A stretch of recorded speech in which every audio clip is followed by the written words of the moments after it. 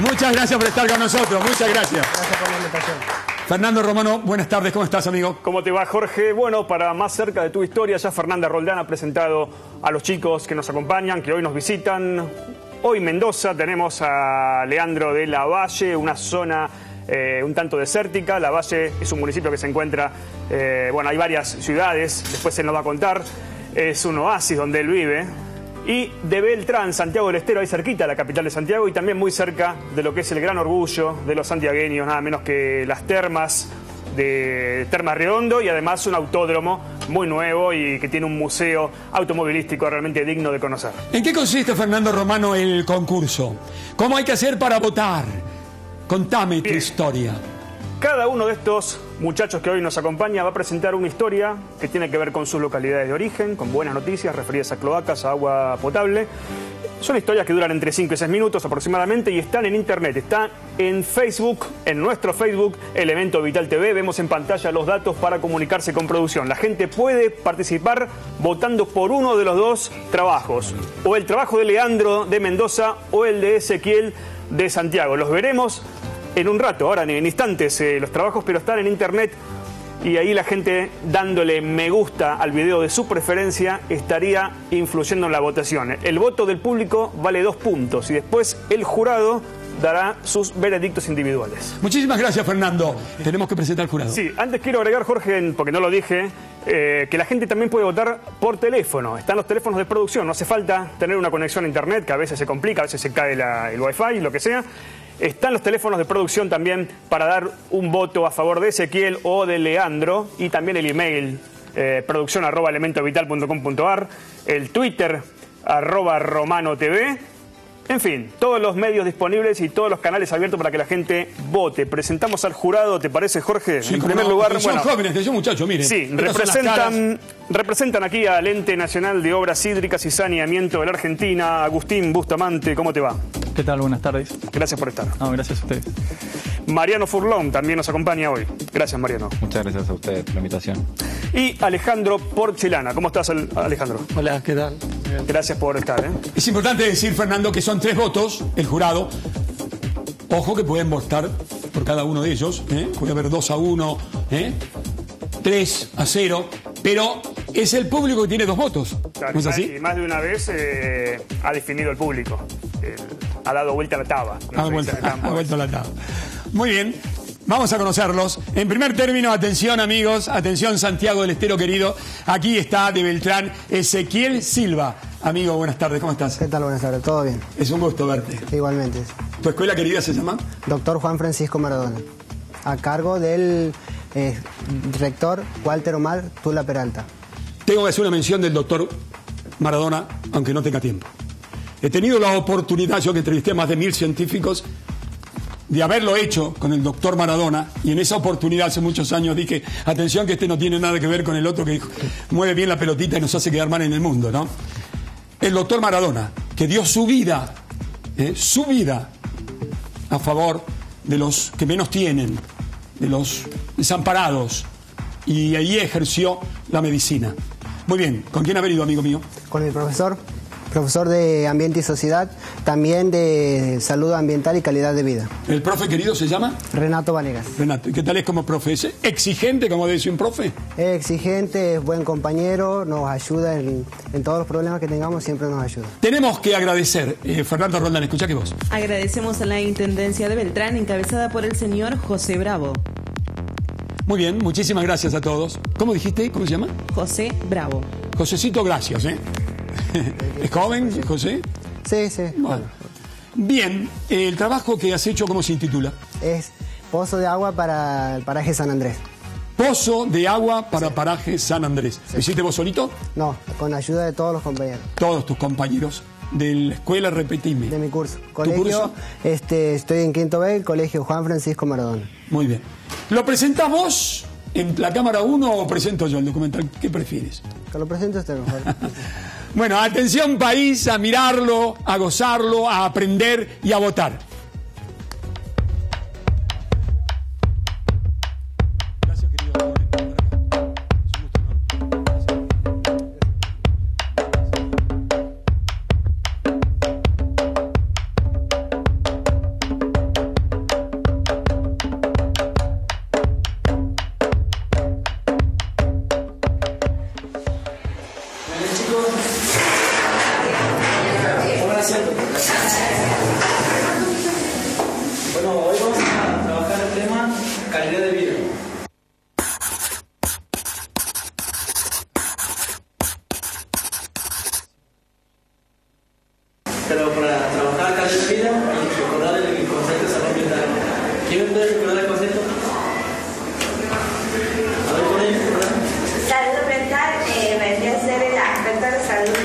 Incluye la calidad de vida y que está determinado condicionado por distintos eh, factores como los físicos, los químicos, los biológicos, sociales y los psicosociales eh, del ambiente. Muy bien. ¿Quién me puede dar un ejemplo? A ver, Profe, el ejemplo puede ser el, proyecto- el pozo de agua potable que tiene la municipalidad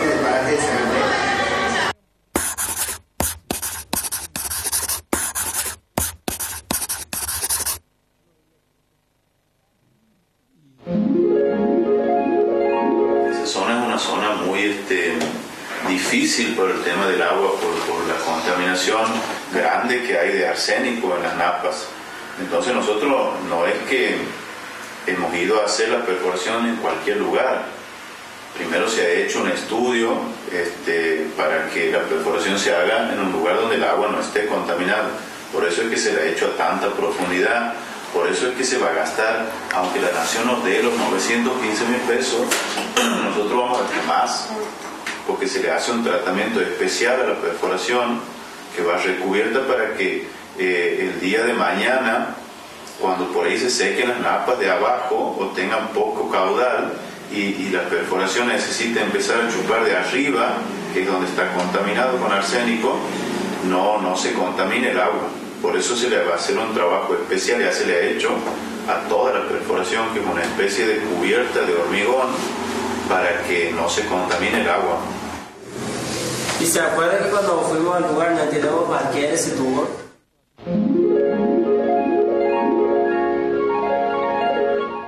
Hay una estructura y arriba hay un tanque. Sacan el agua, llenan el, el tanque ese y de ahí lo trasladan a la calle para que, para que cargue la gente si quiere. Pero después tiene las cañerías.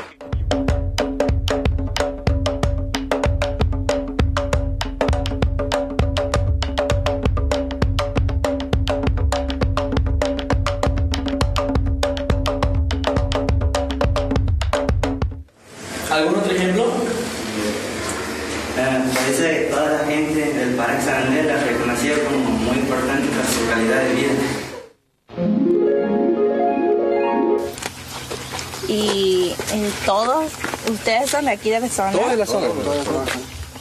En una palabra, o sea, que si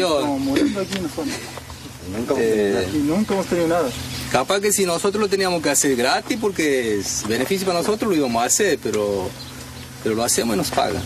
¿Y están conformes con su Estamos paga? conformes, pues no te digo que nosotros íbamos a hacer, si teníamos que cavar gratis, íbamos a cavar gratis porque es, es para nosotros, somos los beneficiados nosotros. Y bueno, hemos tenido la suerte que cavamos, que se vamos a beneficiar y nos pagan. Pero nosotros somos nacidos y criados aquí en San Andrés. ¿Y cuánto? Y según- la población? ¿Cuánto? ¿Cuántos habitantes? No. 21 familias de nuestras. 21 familias. 21. Ajá. Eh, ¿De dónde traían el agua para, para tener para tomar? Y bueno, de ahí de Beltrán que nos mandaban en el camión para tomar. ¿Cada cuánto? Y cada- primero nos mandaban cada ocho días más o menos, ¿no? ocho cada días. ocho días, cada diez días. Y con ese se suministrábamos. ¿Y era suficiente o tenían que medirse el agua ya, para tomar esas cosas? Tenían que medirse. Y sí, más o menos. En el verano, por ejemplo, no alcanzaba casi porque hay, que se ocupa más, se consume más el agua en el verano. O sea, usted ahora ya sabe del, del proyecto que están haciendo para tener agua potabilizadora. Y sí, en eso estamos, que se concluya pronto, porque si no, sin agua no somos nada. Muy beneficiable, ¿verdad? Claro, para todos, mayormente para todos. Profe, entonces podemos concluir que las obras en el ambiente mejoran la calidad de vida. Por eso le decía una zona muy difícil en el sentido porque toda esa zona de Vichipólita, Barrial, San Andrés, San Juan, tiene un, alto grado de contaminación de arsénico. Todo eso también ha hecho que uno elija a esa zona de San Andrés para, para que se beneficien con este proyecto. ¿Se están contentos por...? Y sí, contentos, re contentos estamos.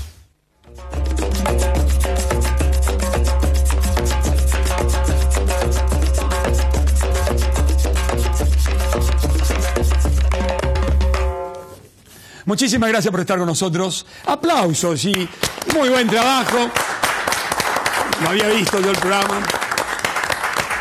Es el turno entonces de presentar a Leandro Emanuel Segovia Guerra. Él viene de La Valle, Mendoza. Atención, mendocinos queridos. Emanuel, buenos días. ¿Tu escuela querida se llama? Eh, 4026 Juan Bautista Alberdi. Juan Bautista Alberdi. ¿En qué año estás? En sexto año, el último. El último año. Y decime, ¿en el último año no te hay un cachito de nostalgia ahora que... Viste que en el primer año, en toda la historia es así, empieza... Ay, faltan Em- em- tantos años. Y empezás después- con un cierto miedo, ya al, al último te sentís ya muy libre y no querés irte de la secundaria por nada del mundo. Bueno, es una copia fiel de lo que acontece. Y Emanuel, ¿y qué es la escuela para vos? Y la escuela para mí es para mí te enseña te enseña muchísimo. Te enseña a respetar, te enseña a vivir en sociedad, te enseña muchas cosas. ¿Es una escuela técnica? Técnica. ¿Sí? ¿Cuál es el, qué- cuál es el título? Técnico agraria, bueno, eh, mi escuela consta de dos moda- eh, modalidades.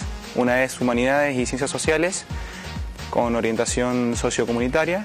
Y la, la modalidad que estoy yo es Bienes y Servicios, que en quinto año se egresa con el título de auxiliar agro- agroindustrial.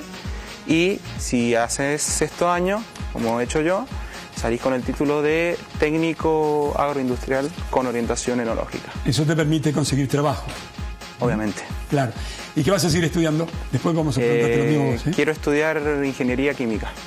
¿Cómo? Ingeniería química. Y yo te hago doctor en ingeniería porque los títulos eh, no terminan nunca, ¿eh? Los estudios no terminan jamás. Vas a ser doctor en ingeniería porque te lo dice el periodista. ¿Sí? bueno, tengo que agradecer. ¿Puedo? Sí. A ver. Diputada nacional Anabel Fernández Agasti y a sus asesoras Aylen Vera y Andrea Fontana. Bueno, muchísimas gracias a todos. Muchísimas gracias. ¿Con quién has venido, Emanuel? ¿Y el profe qué materia da? enología. Ajá. Eh, así que vinimos con él desde, desde Mendoza. ¿Y cómo es como profe? Es el profesor más copado que tenemos nosotros. Pero eso qué significa, que no es exigente como debe ser. No. Te exige, te exige, pero, pero hay muy buena onda con el profe. ¿Cómo se intitula el trabajo que has hecho? Eh, Cagua, que significa agua que avanza en el lenguaje huarpe. Eh, y bueno, lo armamos con todos mis compañeros de sexto año. Bueno, Emanuel, ha llegado el momento de presentar el documental. ¿Quién lo hace? ¿Lo haces vos? ¿Eh? ¿El trabajo o lo hago yo? Eh, ¿Lo hago yo si usted quiere? Quiero hacerlo, Emanuel. Esa es tu cámara, el país te Bueno, está viendo. eh, los invito a todos a ver el proyecto de video sobre el secano lavallino. Esto es Cagua.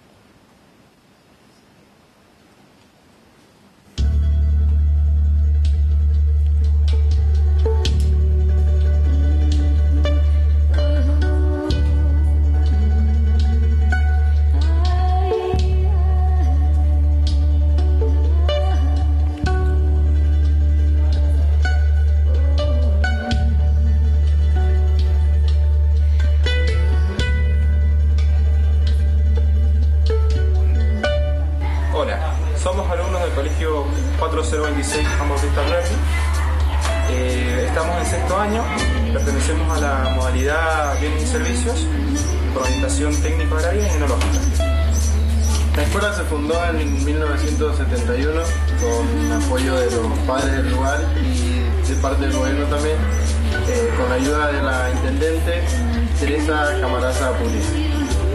En 1978 se logró construir este edificio en el cual la escuela estaba funcionando hasta el momento.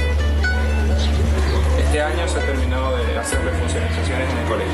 Nuestro colegio está ubicado en Costa Araujo, La Valle, en la zona del secano. Entonces se hizo un proyecto planteando el acueducto partiendo desde Gustavo André y que alcanzara todas las localidades de- del secano La Valle. Eh, ese proyecto surgió alrededor del 2002, hubo muchas idas y vueltas. El- ese tipo de obra lo financia el Ente Nacional de Obras Hídricas y Saneamiento, el ENOSA.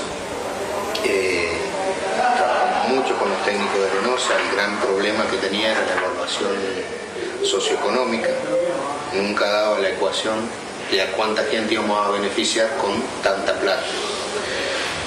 Bueno, entre todas esas gestiones, en un momento se comprometió el presidente Kirchner, aunque no diera la ecuación, a hacer la obra. Y se, se le financió al municipio con 6 millones de pesos para ejecutar la obra.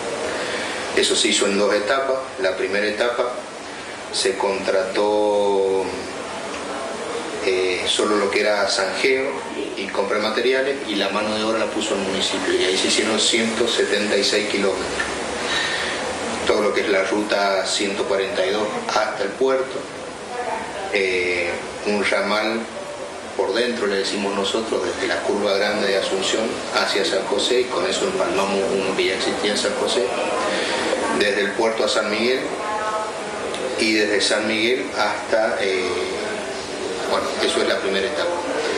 La segunda etapa se hicieron 100 kilómetros más, donde ahí ya se contrató la mano de obra también y se hizo eh, de San José a Laguna por el oeste, ya existía uno por el Camino de los Médanos entre San José y la Capilla, se hizo desde San Miguel al Retamo y al Forzudo, que es lo último que hemos terminado.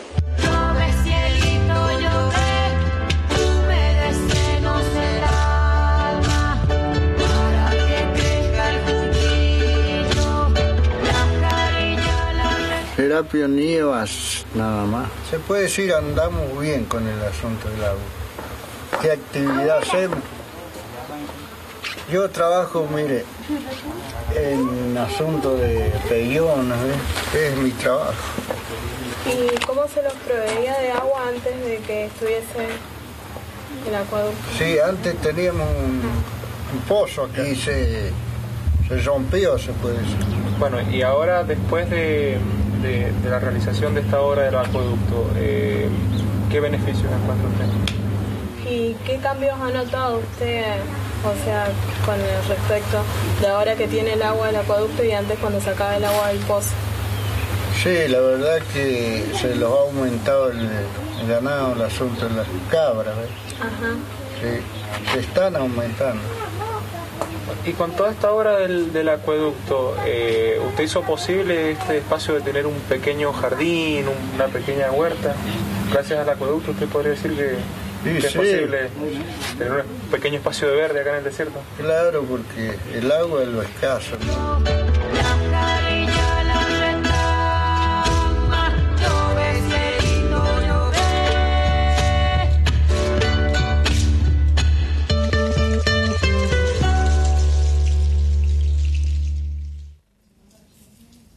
Muy bueno. Felicitaciones. Gracias. No hay perdedores. Nos ayudan ustedes a informar y a formar sobre esto que tiene que ver con la calidad de vida de los argentinos. Una realidad que tal cual es hemos presentado gracias a la colaboración de ustedes. Uno va a pasar a la semifinal, el otro va a un repechaje, los dos han ganado y los dos merecen lo mejor. Tengo que hacemos una pausa. Atención país.